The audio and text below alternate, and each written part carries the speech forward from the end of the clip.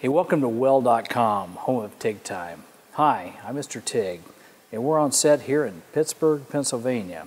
And today we're going to unpack a machine. In fact, I've already unpacked it. And as new machines come out on the market, I like to unpack them and test them and, uh, and share with you what I like and what I don't like about them. And today I've got a machine, it's called a Power Pro 205 SI.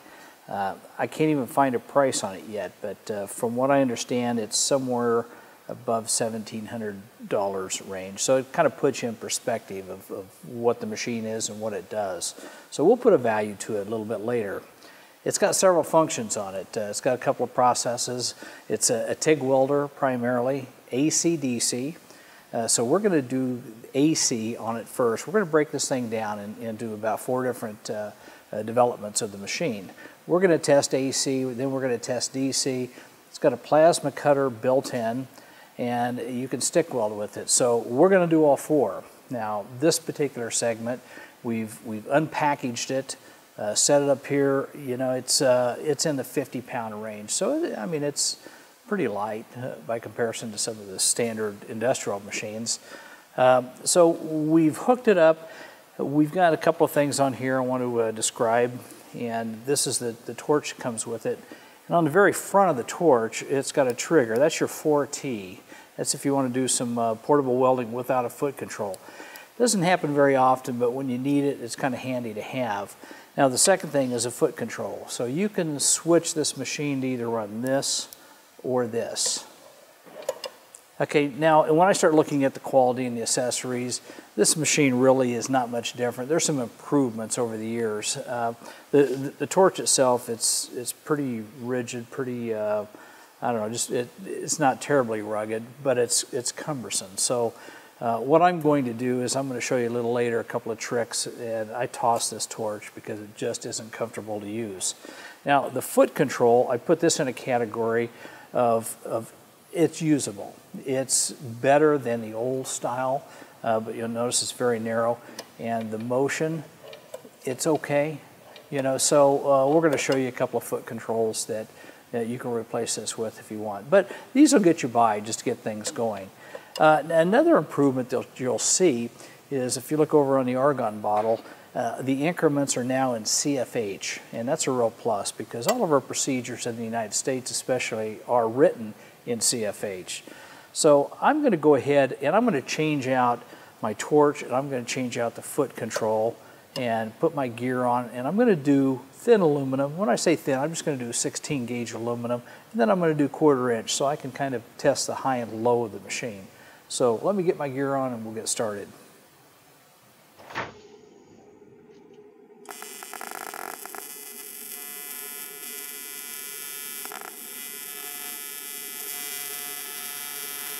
Okay, well it's a pretty stable arc.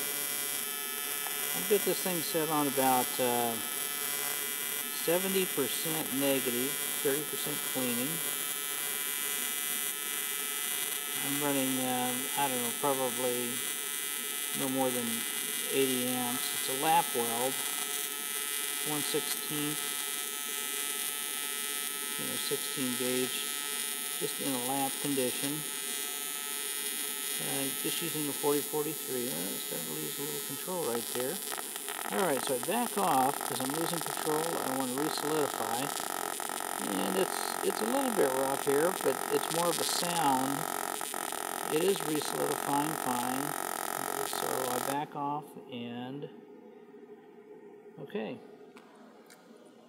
Okay, so I look at this weld and I you know, I see that I probably need just a little bit more cleaning action. So I'm going to adjust it again. And then I'm really going to test the machine because I want to do an edge weld. Uh, so an edge weld, it, it has a tendency to lose surface tension and drop down, but this is really going to tell you how refined you can get your arc. So uh, let me reset the machine and I'll get back with you in just a few minutes.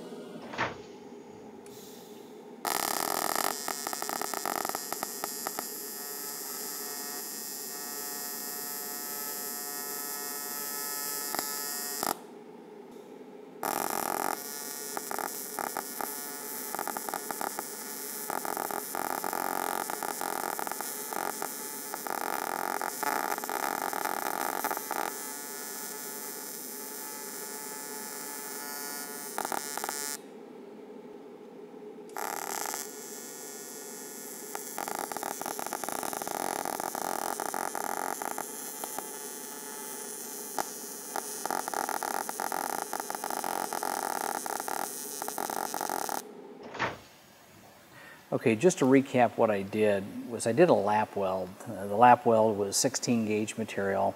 Uh, it required anywhere from about 50 to 70 amps, depending. Uh, in the beginning, it always takes a little bit more, and then the heat catches up to you. So, anyway, I set the machine at about 80, 83 amps, and it was adequate amperage. It welded up beautifully, not a problem at all.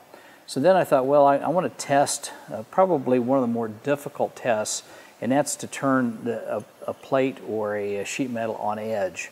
And uh, doing an edge weld on aluminum is just a nightmare if you don't have really low amp stability.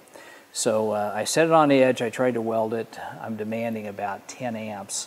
Uh, so as I go through the specs of the machine, this machine just wouldn't do it. it. This machine was designed to light off at 20 amps, uh, which means also that when you start asking for 10, you're going to get a, a, very unstable arc. So increase to 20 amps, it's too much and the material melts away. So uh, I would say anything 16 gauge you're going to do fine with, uh, not edge welds, but butt welds, lap welds, fillet welds, that sort of thing. Uh, so for that portion of it, what I did was I, I, immediately went back down to the plate to see if there were any issues with stability, any issues with contamination, and I ran a bead on plate and it came out just beautiful. So anyway, uh, just know that there's some limitations on this and it only drops down to uh, 20 amps. So what we're going to do next is we're going to test the high end. I'm going to go quarter inch thick aluminum and see how stable the arc is. So uh, let me change over here real quick and I'll uh, I'll put in probably 180 amps or so and uh, see how, how it works. I'm using a torch that only has 150 amp capability, 60% duty cycle. So you can see that it still holds up. You can use it for short runs. 332 diameter tungsten. Again, I'm, I'm pegged out right now. The max that I can get out of it. Anyway, it's, uh, it's struggling a little bit. Okay, so I'm going to taper off. It, it will, it'll taper off to about oh, 20 amps. Off. Okay, so that weld is done. Okay, so I was using this little torch. It's just a 17, a standard 17 torch. It's a 150 amp torch and 150 amp cable. And they're warm. You know, I did six inches of welding here at uh, maxing out this machine. Now what I did, because I only have 200 amps here, usually a, a weld quarter inch thick at about 225, 240, but you can get by by just turning the cleaning action down. Now, the offset to that is if you turn the cleaning action down, the material looks dirtier, it doesn't clean up as much. So I had to do that because I only had 200 amps here. So I was running at about 30% positive, 30% uh, cleaning action, 70% negative. Now you can tweak that back. You can go to 60-40, 60% negative, 40% cleaning, and it starts cleaning up, but you lose penetration. So you have to play with the balance. And what I was trying to do is I just want to test this machine and see what it'll do, what it won't do. Uh, so on, on heavy materials, it, um, yeah, it does the job very nicely, uh, very stable arc, and I expected it to, especially at high amps. Uh, but I did, I, I, pegged it out, I ran 200 amps or close to it all the way. So just want you to know there's a couple of features on the machine that uh, I like to stay away from. Uh, you know, you get into pulsing. Pulsing is just, uh, it's kind of an artsy type thing, and every once in a while you'll find a real application where you need pulsing. But if you're just getting started in welding, I can tell you that I don't use pulsing uh, probably 2% of the time. So uh, turn the pulsing off and then just concentrate on the amperage and concentrate on setting uh, the frequency. I run the frequency, I start at 120 hertz. And I pretty much use that for just about everything.